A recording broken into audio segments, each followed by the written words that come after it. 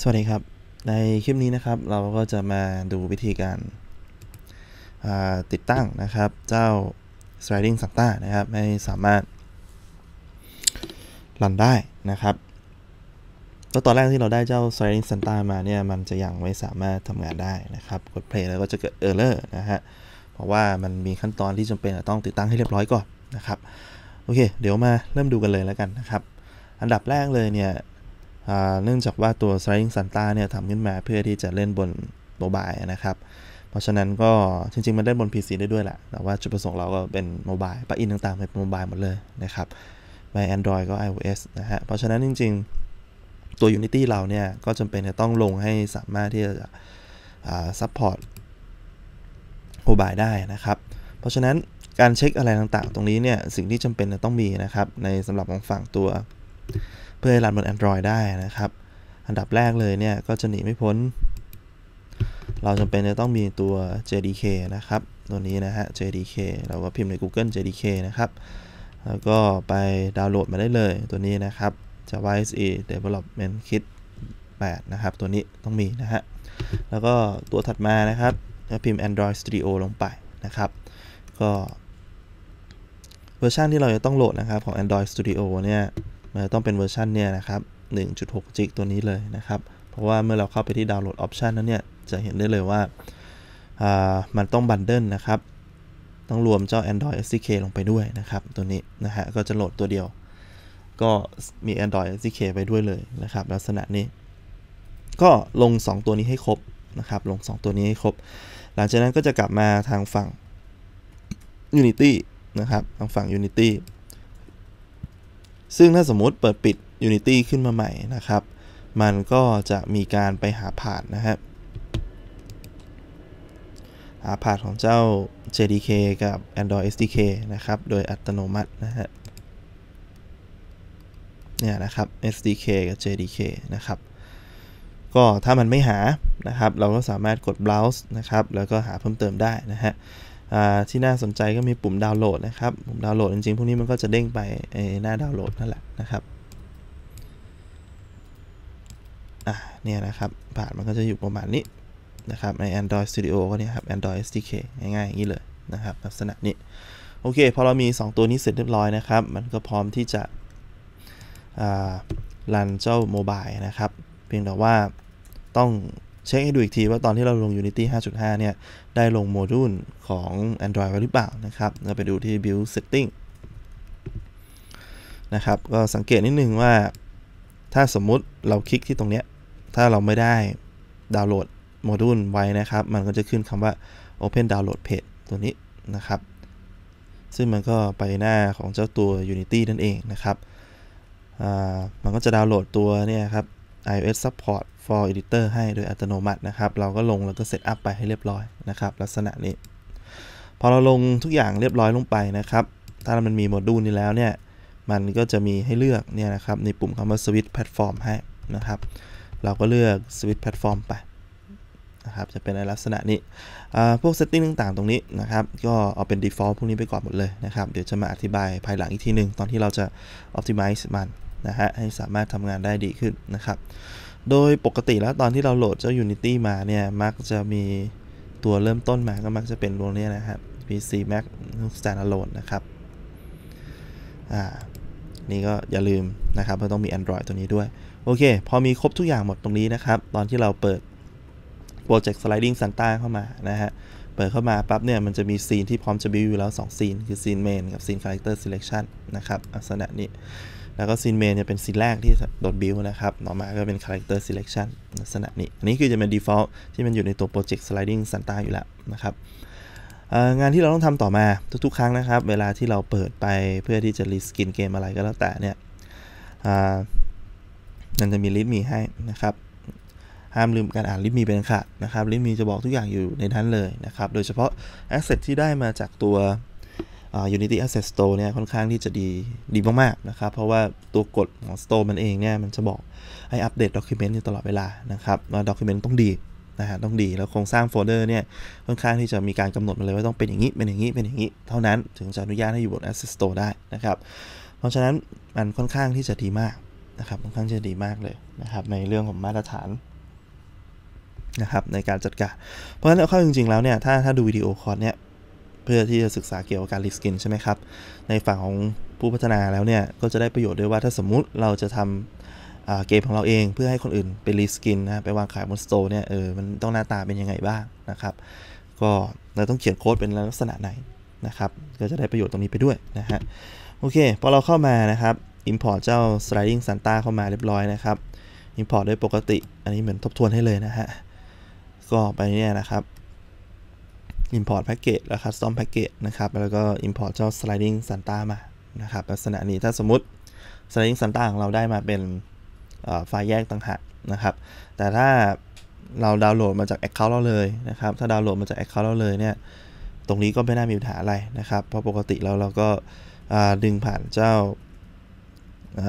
ตัว store ได้เลยนะครับ ตัว store อยู่ไหนเอ่ย เนี่ยนะครับ access store ตรงนี้นะครับ ก็แค่หา sliding santa นะครับแล้ว import เข้ามาในโปรเจกต์เปล่าๆของเรานะครับ ตรงนี้จะไม่ได้พูดถึงวิธีการเปิดโปรเจกต์นะฮะ อันนี้ก็ลองแค่ new โปรเจกต์ขึ้นมาให้เป็นโปรเจกต์เปล่าๆหลังจากนั้นก็ import sliding santa เข้ามาแค่นั้นเองนะครับพอ import เข้ามาแล้วนะครับ สิ่งที่ต้องทำเพิ่มเติมก็คือ เราจะเห็นโฟลเดอร์ที่ชื่อว่า move to asset นะครับ โฟลเดอร์ตรงนี้นะฮะ move to asset ซึ่ง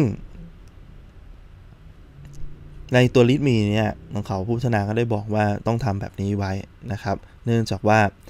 ตัวโครงสร้างโฟลเดอร์นะครับโครงสร้างโฟลเดอร์ของ asset ที่จะอัปโหลดใน store เนี่ยมันจะต้องคงโปรเจกต์อย่างเงี้ยฮะมี anim audio ออะไรพวกเนี้ยครับ มันไม่สามารถจะเอาปลั๊กอินภายนอกเนี่ยมาอยู่ตรงนี้ได้นะครับหรือถ้าอยู่ปลั๊กอินภายนอกก็ต้องมีโฟลเดอร์ปลั๊กอินต่างหากนะฮะซึ่งจริงๆแล้วไอ้พวก ที่มันอยู่ใน Sliding Santa ไอ้ Move to Asset เนี่ย มันจะเป็นพวกเนี้ยครับ Chartboost Google Mobile Ad Google Play Game พวกเนี้ยนะครับ Play Service Resolver พวกเนี้ยมันมันไม่สามารถที่จะอยู่ข้างในได้นะครับ อยู่ข้างในปลั๊กอินอะไรอย่างนี้ได้ มันต้องอยู่ข้างนอกอย่างเงี้ยครับ เพราะฉะนั้นสิ่งแรกที่เราต้องทำก็คือแค่เข้าไปในโฟลเดอร์ Move to Asset ตัวนี้นะครับ พอเข้าไปในโฟลเดอร์ Move to Asset ตัวนี้เราจะค้นพบว่ามันมี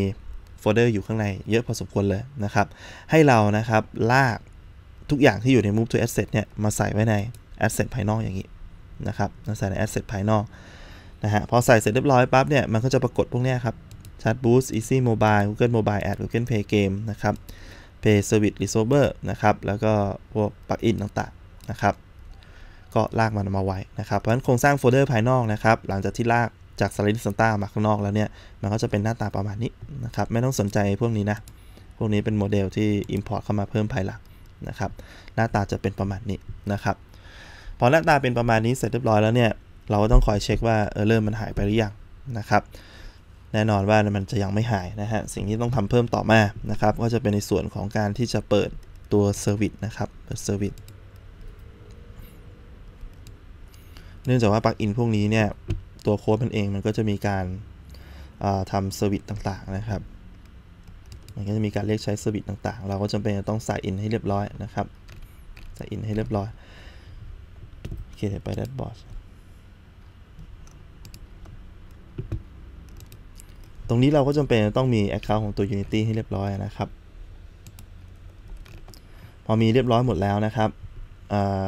เนื่องจากว่าไอ้ตรงนี้มันผ่านขั้นตอนหน้า setup มาแล้วนะฮะ ก็เป็นไรคือเปิด service ขึ้นมาปั๊บเนี่ยมันก็จะถามเราให้เราล็อกอินเข้าไปใน Account นะครับแล้วก็ถามเราว่าเออเราเออจะตั้งชื่อโปรเจกต์ใหม่ของเราว่าอะไร เพราะมันจำเป็นจะต้องมี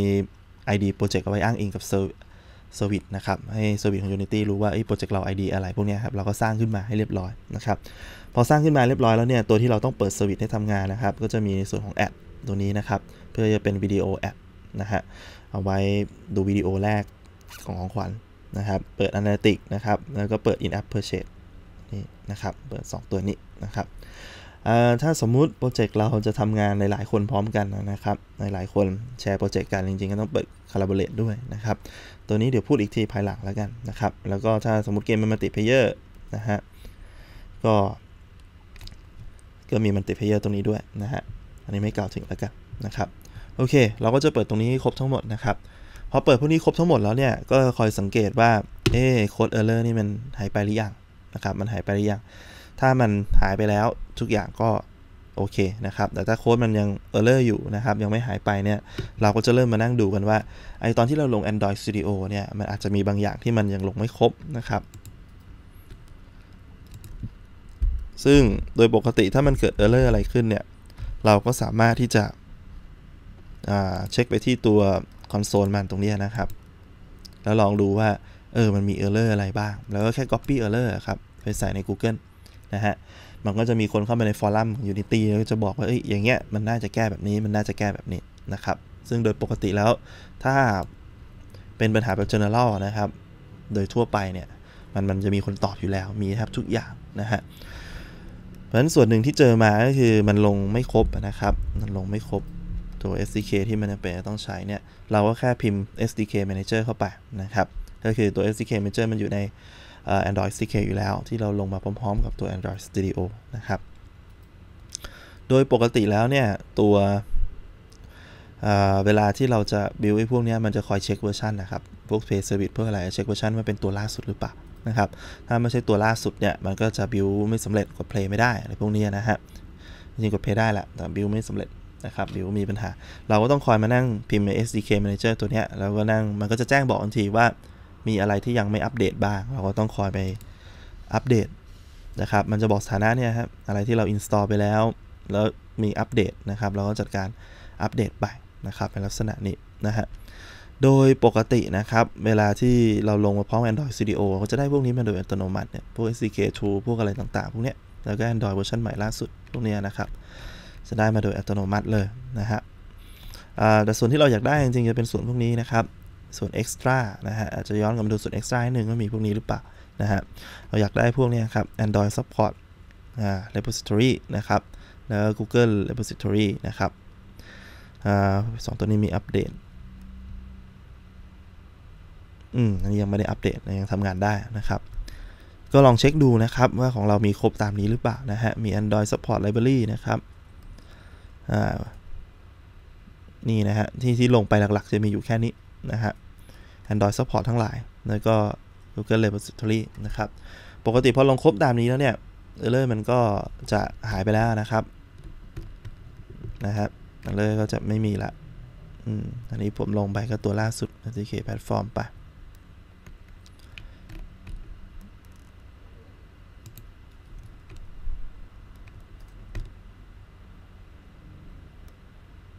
เนี่ยนะหลักๆก็จะมีอยู่แค่นี้เองนะครับ ที่ได้ลงเพิ่มไปนะครับ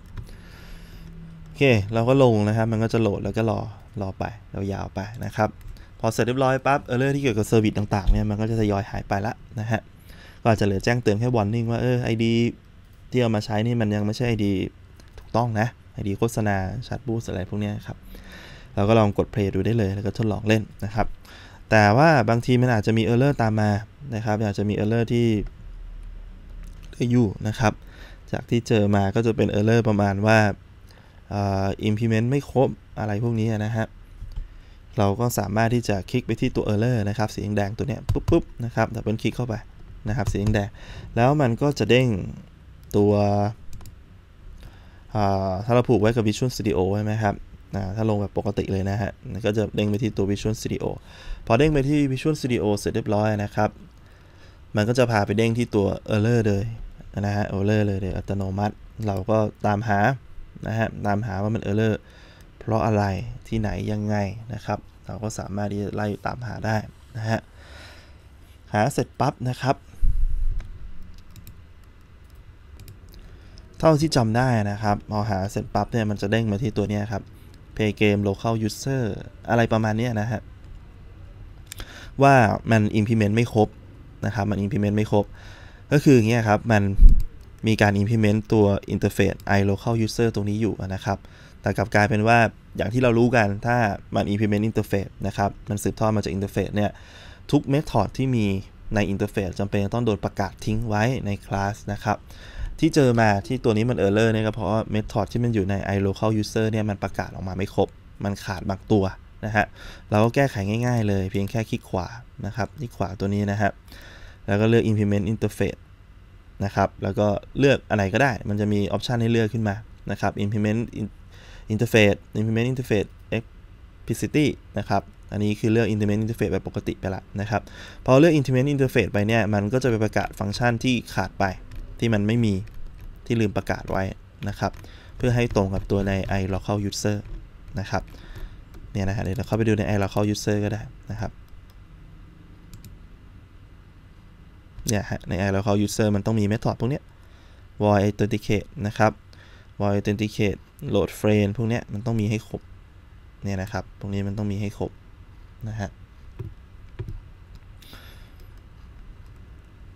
พอมีครบแล้วก็ไม่มีปัญหานะครับเนี่ย authenticate อันนี้เราก็ implement ให้ครบไป จริงๆมันก็มีครบนะ อืม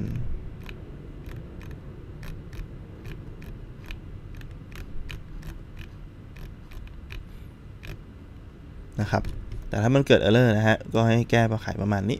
นะครับ ไปที่ ILocalUser นะครับ แล้วก็จัดการ implement ซะ แค่นั้นเองนะครับ เพราะฉะนั้นโปรเจกต์เนี้ยก็พร้อมที่จะรันแล้ว นะครับ เราสวิตช์แพลตฟอร์มเราทำอะไรเสร็จเรียบร้อยหมดแล้วตรงนี้นะครับ แล้วก็ตัวหน้าจอเนี่ยเราก็อาจจะปรับสเกลนะครับ ให้มันเป็นแบบหน้าจอตั้ง เพราะว่าถ้า default มันก็จะเป็นอย่างเงี้ยครับนะฮะ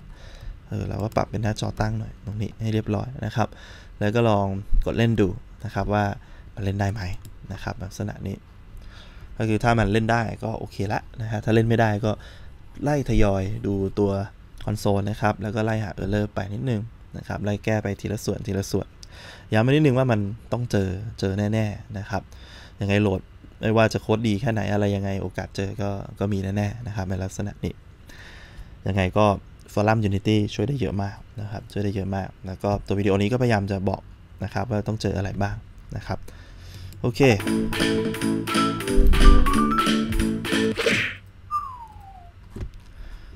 นะครับ เกมก็เล่นได้ไม่มีปัญหานะครับ ส่วนที่แตกต่างกับวิดีโอแรก ๆ ก็อาจจะเป็นวิดีโอแรกมันเป็นซันต้านะฮะนี่กลายเป็นรถนะครับก็เดี๋ยวจะมาอธิบายอีกทีว่า ถ้าเราต้องการจะแทรกโมเดลเข้าไปแทนเนี่ยเออมันต้องทำยังไงบ้างนะครับแทรกโมเดลอื่นเข้าไปแทนนะครับก็ถือว่าโค้ดนี้จริงๆทำออกมาง่ายค่อนข้างดีนะครับทำให้เวลาแทรกโมเดลแทรกอะไรต่างๆเนี่ยค่อนข้างง่ายเลยนะครับง่ายมากเลยงั้น reskin สามมิตินี่ก็ทำได้นะครับทำได้เลยนะครับโอเคครับ